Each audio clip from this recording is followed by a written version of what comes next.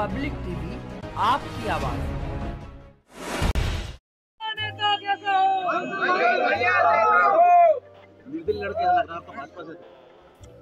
मैं भाजपा से था, भाजपा से क्या अगवानपुर से था? मेन तो मैं अगवानपुर से हूँ, अगवानपुर से था। भाजपा में भी था तो अगवानपुर की वजह से था। निर्दलीय हूँ तो अगवानपुर की वजह से हूँ।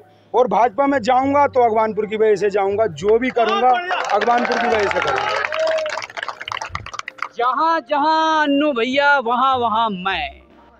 इनका साथ मैं नहीं छोड़ूँगा बस ये जहाँ जाएँगे जो खाली रास्ता दिखा दे ये दिशा दिखा दे हम सब इनके पीछे हैं।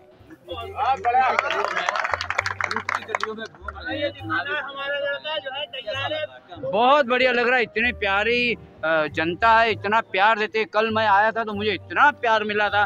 अन्नू भैया की बदौलत मुझे इतना प्यार मिला और अन्नू भैया की बदौलत मुझे इन लोगों से मिलने का जो मौका मिला है उसके लिए मैं पूरी जनता का मैं शुक्रिया अदा करता हूँ। यूपी में है क्या माहौल है यूपी का? टेररिज्म के नाम से जानी जाती थी। हंगामे बहुत होते थे झगड़े बहुत होते थे। आज क्या स्थिति क्या अब पूरी समस्याएँ खत्म हो जाएँगी एक बार इनको आ जाने दो।